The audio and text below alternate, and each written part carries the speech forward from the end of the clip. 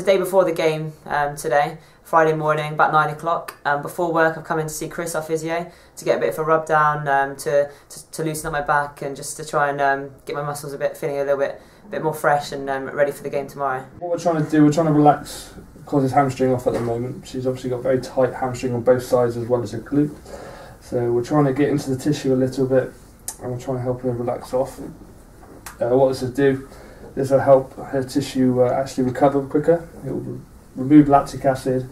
It will help the fibres also as they're recovering because she had a hard training session last night. Also realign, and hopefully she'll feel a little bit easier afterwards. So I'll just talk to you about uh, some of the things I eat the day before a game. Um, obviously, what you eat in nutrition is really important. Um, to be honest, what I eat the day before the game is, is pretty much what I eat on a normal day anyway. I mean, I think um, it's important every day of the week. You've got to prepare right for training and get into good habits throughout the whole week, not just the day before. Um, it's too late then. So I, eat, I I do eat pretty healthy like every day really. To be honest.